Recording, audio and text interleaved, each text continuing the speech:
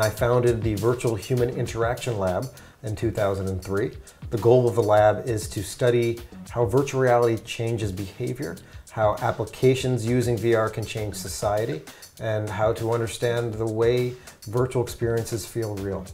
So when you have the glasses on, it really does transport you into the environment that you're in. It's still a kind of video game style pixelation, um, so it doesn't look like reality. Um, but when I was asked to walk across this plank when there was floor like 20 feet down, it really felt scary and my heart started racing. Um, and I really felt like I was gonna fall off.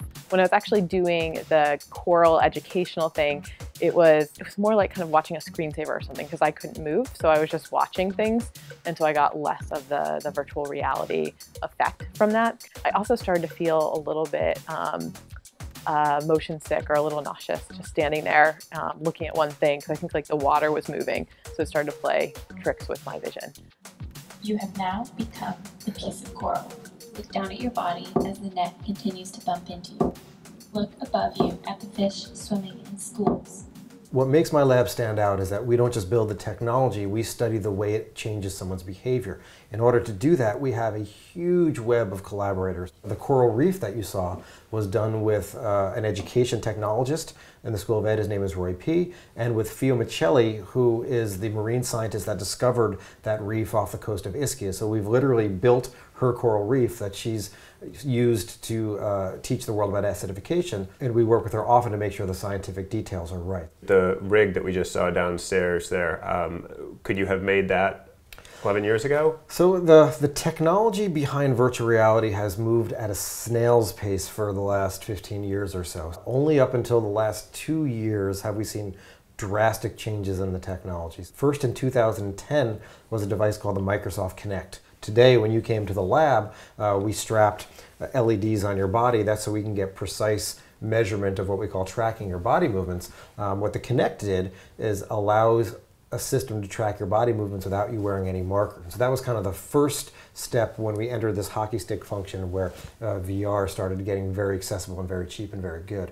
Uh, obviously, the, the helmet that you wore in my lab is from a company called NVIS, uh, and it's a great head-mounted display, uh, but it costs in the tens of thousands of dollars. What the Oculus Rift does, as well as other products, for example, uh, the Morpheus by Sony and a few other companies that are developing this technology, now that the giants care about VR, what you're seeing is they're getting lighter, they're getting more comfortable, they're getting cheaper, and the quality is, is quite good. So we're at that moment in the sort of classic adoption curve where technologies that were only available to kind of researchers and industry a few years ago are now starting to filter out into a consumer uh, function? Absolutely. So Jaron Lanier, the guy that coined the term virtual reality, has always said that VR is never going to matter if you have to have million dollar labs at universities to, to get it out there. And, and what the new technologies are doing are bringing it from the laboratory into the living room. And we're starting to see that tipping point now.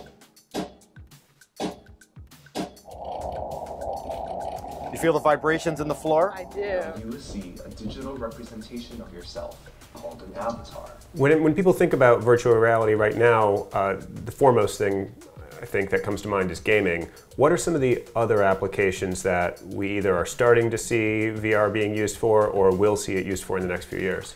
Let me tell you about some projects that we have in the lab. So, so one of them is to train people how to lose weight and to eat healthier by showing you your avatar become idealized, uh, that is, uh, healthier as a function of your behavior. So if you're jogging in place, and you see your avatar slowly lose pounds, then that inspires you to exercise more than just about any controlled condition someone has tried. A different example is for treating people who have got pain. Preliminary data are showing that kids who've got these pain syndromes, by putting them in avatars that help them move their body, uh, this makes them feel better. Can you tell me a little bit about how you work with uh, the technology industry? Do they uh, is there an interchange between your lab and the, the big tech companies? We have constant contact with corporations, most of whom at this point really need to understand how the technology works, how it's going to apply to their business area, and how you can use it to change human behavior. And how about uh, government defense applications? I also work with the Army, with the Department of Defense, uh, and other parts of the government. We wanted to teach U.S. soldiers what it was like to be an Iraqi citizen, uh, the people they were there to protect. Uh, so it's hard to read a manual and understand what it's like to be someone in Iraq. We built a simulation where they went to a virtual mirror and they felt themselves and saw themselves as an Iraqi citizen. When you walk a mile in someone else's shoes, when you literally become someone else uh, in the same way uh, that you guys became Coral upstairs, uh, when you feel like you are someone else, you gain empathy towards them.